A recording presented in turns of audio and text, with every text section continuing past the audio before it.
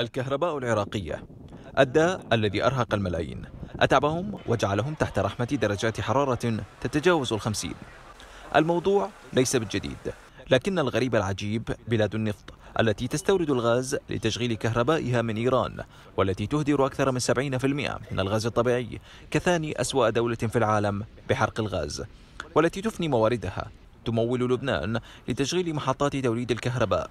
فبيروت تعتمد على بغداد لتشغيل الطاقة بينما الأخيرة تتكئ على عواصم دول الجوار لتشغيل كهربائها.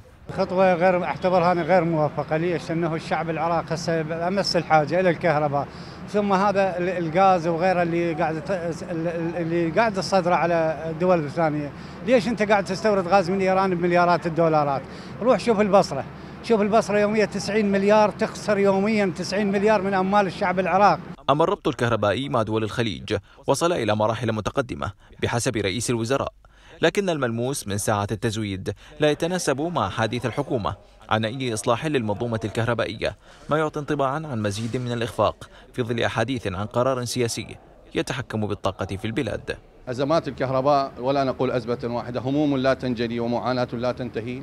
أزمة الكهرباء أنا أراها هي سياسية بامتياز. إذا ما عرفنا بأن هناك مئات الدولارات صرفت من أجل هذا القطاع ولن يجني ولن نحصل على نتيجة. لتبقى الهبة العراقية لبيروت مليون طن أي أكثر من سبعة ملايين برميل. فالنفط العراقي المطلوب عالميا والمظلوم محليا بات أداة شخصية. وهبات دون النظر إلى البلد الغارق في قاع الأزمات. من بغداد علي أسد قناة رشيد.